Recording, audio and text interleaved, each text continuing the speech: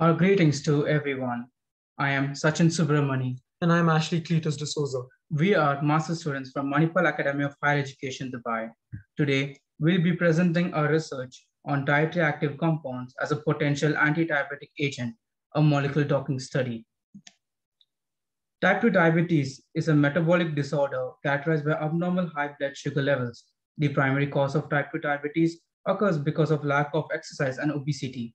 In this form of diabetes, the body cells are resistant to insulin or produces it inefficiently. Previously, it was considered as an adult onset disease, but with the rise in childhood obesity, it is increasingly affecting children as well. Current pharmaceutical interventions such as metformin and TZDs, but these drugs come along with several side effects such as hypoglycemia, nausea, vomiting, etc. An alternate to this could be the use of dietary agents present in herbal medicine and plant-based food. Recent studies provide evidences that these compounds could be supplemented into our diet with lower toxicity and fewer side effects. These agents possess multiple positive health properties such as antioxidant and anti-inflammatory effects against metabolic disorders such as diabetes. The candidate genes for the diabetes were obtained from several GWAS studies, as shown here. Among these genes, we chose PPR gamma and KCNJ11 because they had well-resolved protein structures with co-crystallized ligands. To our first target protein, which is PPR gamma. PPR gamma protein belongs to a subfamily of nuclear receptors which influences fatty acid metabolism as well as glucose homeostasis. It is mainly involved in the differentiation of adipocytes. We would like to talk about the mechanism of action of PPR gamma. A substance binds to PPR gamma, causing it to bind to uh, retinoid X, forming a complex. This complex then binds to the promoter region of the gene, resulting in transcription. The use of TZDs for the activation of PPR gamma is limited due to the side effects such as edema, weight gain, and the risk of heart failures. For such reasons, the switch to partial agonist or selective PPR gamma modulators are being explored to reduce the side effects and improve the insulin sensitivity. Moving on to our second target protein, which is KCNJ11. Uh, this protein is a subunit of ATP sensitive potassium channel, KATP for short. This KATP channel is an integral membrane protein of the beta cells where they open and close with response to glucose levels in the bloodstream. At high level glucose, high levels of glucose, the KATP channel closes, which triggers release of insulin out of the beta cells into the bloodstream, thereby controlling the sugar levels. The altered KCNJ11 protein can disrupt the glucose homeostatic activity of KATP channel, thereby upregulating the release of insulin even in the presence of low blood glucose, causing these cells to become ins uh, insulin resistant.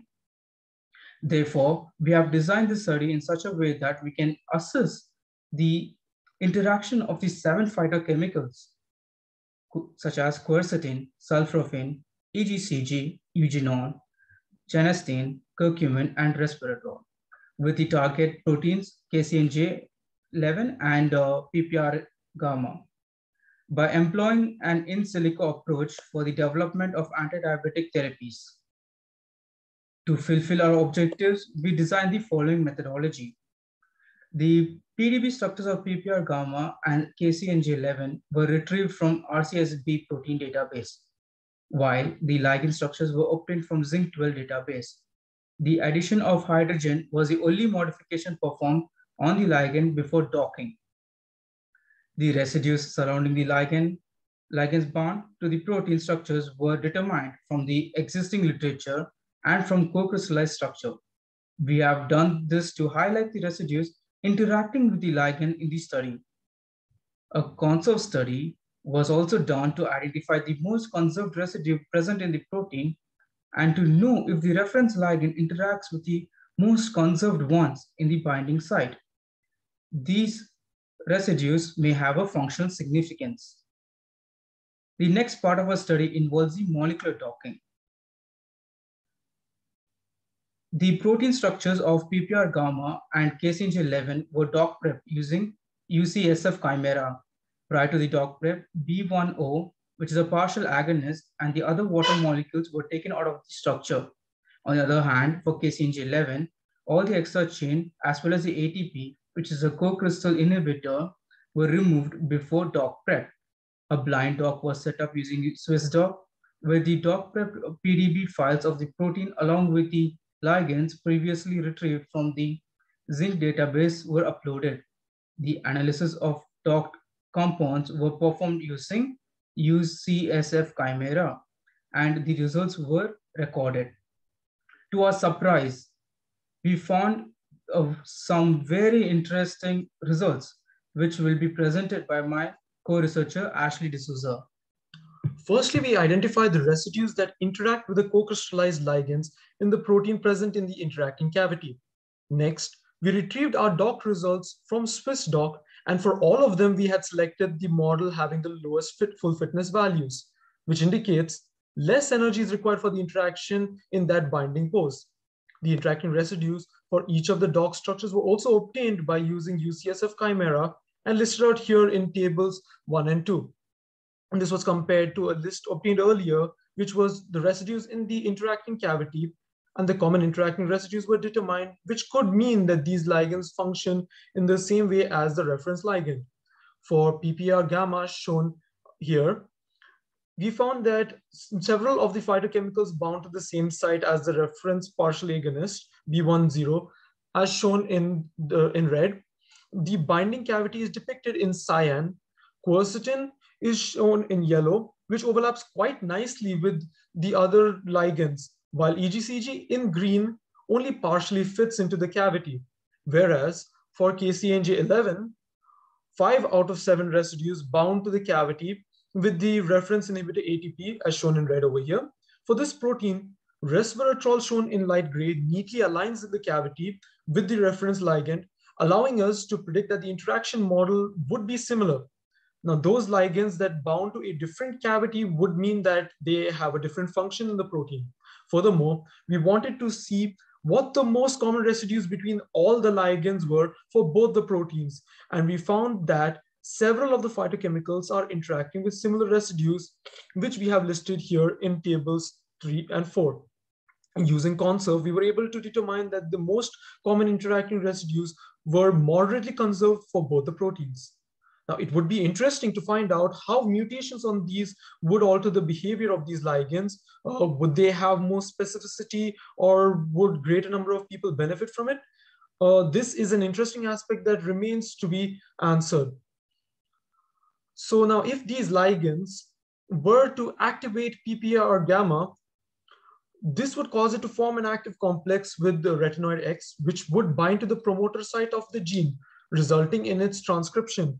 Uh, as for if the ligands bound to KCNG11, the channel would close, causing the release of insulin, reducing blood glucose levels. Molecular docking studies are rising in popularity and is a great tool to analyze numerous protein ligand interactions in a short period of time, as stated by Y. Wang.